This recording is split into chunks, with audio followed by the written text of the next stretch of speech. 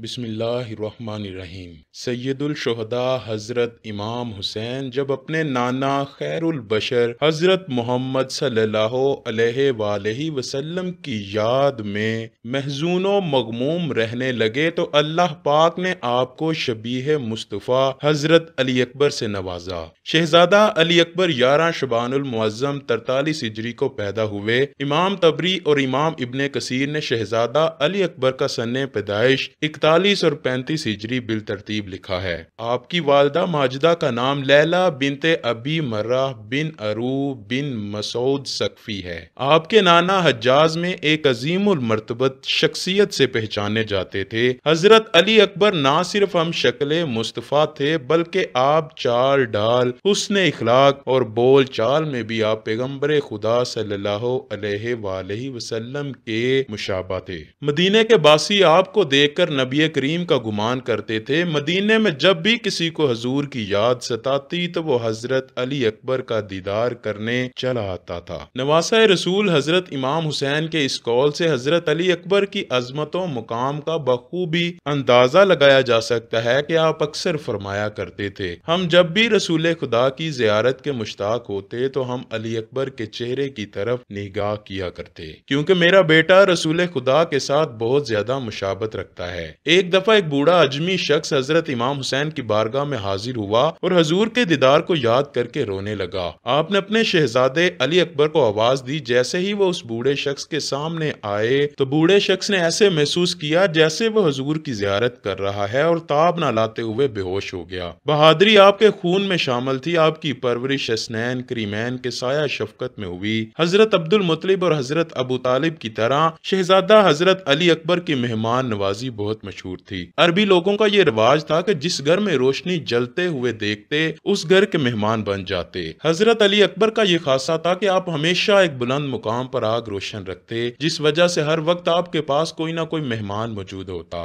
मदीने के गरीब और मसाकिनों के लिए आपने एक बहुत बड़ा लंगर खाना बना रखा था। आपको बचपन से ही शहादत का शौक था। इस बात से अंदाज़ा लगाए कि जब नवासा रसूल अपना मुबारक काफिला लेकर कूफे की जानब रवा दवा थे तो रास्ते में हज़रत इमाम हुसैन ने फरमाया कि मैंने ख्वाब में एक शख्स को ये कहते सुना है कि ये काफिला अपने मकतलगाह की तरफ़ बढ़ रहा है। कुर्बान जाऊँ मैं शहजादा अली अकबर पर। जब उन्होंने ये सुना तो पूछने लगे, बाबा, क्या हम हक पर नहीं हैं? हज़रत इमाम हुसैन फरमाने लगे, बेशक, क्यों नहीं बेटा? शहजादा अली अकबर ने फिर वो जवाब दिया, जो तारीख की किताबों में सुनहरी हरूफ से दर्ज है। आप फरमाने लगे, जब हम हक पर हैं तो फिर हमारी शहादत भी यकीनी है। मरने से कोई खौफ नहीं है। चूँकि हज़रत अली अकबर की आवाज़ मुबारक भी अपने जद अमजद नबी मुकर्रम सल्लल्लाहु के साथ मिलती थी। इसीलिए नवासा रसूल हज़रत इमाम हुसैन अक्सर अपने बेटे अली अकबर को ही अजान देने का हुक्म देते। इसी तरह करबला के वहशतनाक सहरा में इकसठ हिजरी दस महरम हराम की सुबह को भी हज़रत इमाम हुसैन ने अपने शहजादे अली अकबर को अजान देने का कहा। ऐसी अजान जो कि कभी पहले जमीनों आसमां के बासियों ने ना सुनी होगी। हवाएँ मुअत्तर होने लगी, पहाड़ हिलने लगे। लेकिन फिर भी शकील कल्ब लश्कर को निदामत महसूस नहीं होती। दुनिया के तालिबन बदबख्तों के दिल नहीं लरजते। अजान खत्म होती है, नमाज़ अदा की जाती है। बनी हाशिम के शेरों में से सबसे पहले हज़रत अली अकबर ही इजाज़त मांगते हैं कि मैं मैदान में सबसे पहले जाऊँगा। जैसे ही हम शक्ल पैगंबर बारगाह हुसैनी में हाजिर होते हैं, अब्बा जान, अब मुझे इजाज़त दीजिए। हज़रत इमाम हुसैन ने उनकी पेशानी पर अलविदाई बोसा सब्त करते हुए जवा साला बेटे को सीने से लगा लिया और बेटे को हसरत भरी नज़रों से देखा और दुआएँ देकर मकतल की तरफ़ रवाना किया कि बेटा, जाओ, अल्लाह की राह में अपनी जान का निजराना पेश करो। अली अकबर शेर की तरह मैदान जंग में आए, सिरापाए पैकरे रानाई, सरापाए पैकरे हुस्न, सिरापाए पैकरे जमाल मुस्तफ़ा मुशतबा सल्लल्लाहु अलैहि की तस्वीर कामिल यजीदी लश्कर से लड़ने लगे। जब हज़रत अली अकबर मैदान जंग जा रहे थे तो फरमा रहे थे, मैं अली हुसैन इब्ने अली हूँ।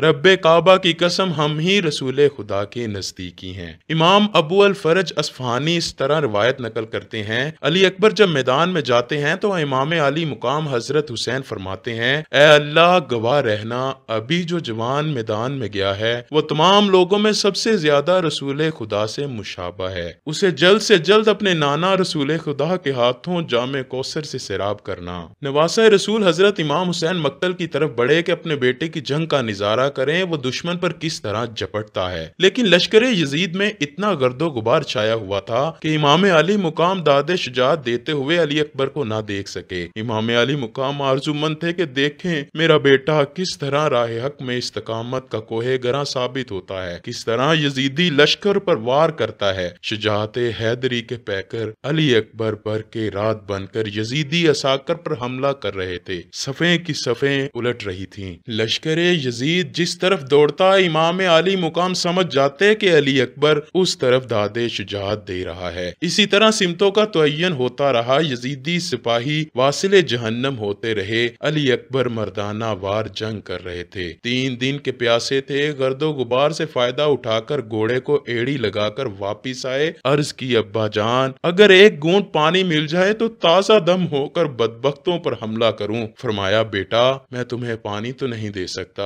मेरी ज़ुबान को चूस लो। इमाम अली मुकाम की अपनी ज़ुबान खुश्क है। इमाम अली मुकाम ने अपनी ज़ुबान मुबारक अली अकबर के मुँह में डाल दी कि बेटा इसी तरह नाना जान अपनी ज़ुबान मेरे मुँह में डाला करते थे। शायद वो मेरे मुँह में अपनी ज़ुबान आज के दिन के लिए ही डालते थे। अली अकबर ने अपने बाबा की सूखी हुई ज़ुबान चूसी। एक नया हौसला और वलवला मिला। पलटकर फिर लश्कर यजीद पर हमला किया और बहुत से दुश्मनों को जहन्नम वासिल किया। अचानक लड़ते लड़ते लड़ते आवाज़ दी, अब्बा जान, मुझे थाम लीजिए। हज़रत इमाम हुसैन समझ गए कि जवा साला बेटे की शहादत की घड़ी आ गई। दौड़कर अली अकबर की तरफ़ आए, करीब होकर देखा तो हम शक्ल पैगंबर अली अकबर ज़मीन पर थे। लश्कर यजीद के किसी बदबक सिपाही की पर्ची अली अकबर के सीने में पेवस्त हो चुकी थी। यजीदी लश्कर जीत के नारे बुलंद करते हुए वापिस लौट गए। इमाम अली मुकाम ज़मीन पर बैठ गए, अपने जख्मी बेटे का बोसा लिया, जिसम जख्मों से चूर है। कोई जगह नहीं जहाँ तलवार का निशान न हो। हज़रत अली अकबर ने कहा, अब्बा जान, अगर ये बर्ची मेरे सीने से निकाल दें तो फिर दुश्मन पर हमला करूँ। इमाम अली मुकाम ने एक दफ़ा बेटे के सीने में लगी बर्ची को देखा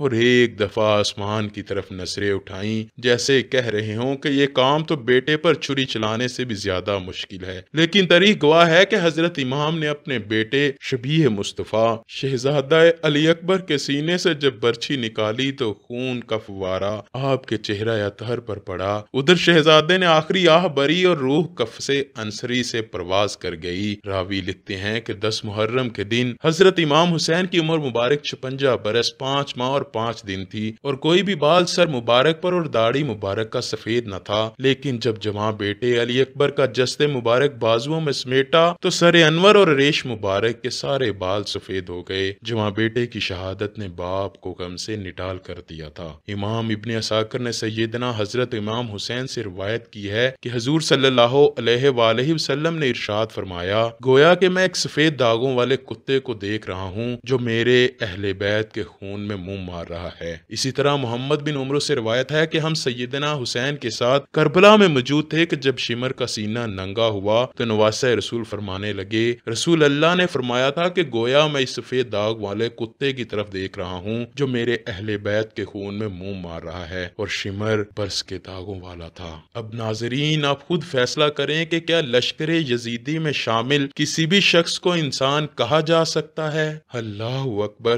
कैसे कैसे जुल्म हुए हैं करबला में? आने वाली चंद वीडियो में आपको करबला के ही मनाजर पेश करेंगे। लाखों सलाम हो जनाब हज़रत अली अकबर पर। करोड़ों दरूद हजूर वसल्लम और उनकी आल पाक पर। अल्लाह पाक मुझे और आपको हजूर वसल्लम और उनकी आल पाक से बेशुमार मोहब्बत अता फरमाए। कमेंट सेक्शन में आमीन लिखना मत भूलिएगा। न जाने किसकी आमीन कबूल हो। और हम भी हजूर पाक सल्लल्लाहु अलैहि वसल्लम और उनकी आल पाक के मंजूर नज़र बन जाएँ।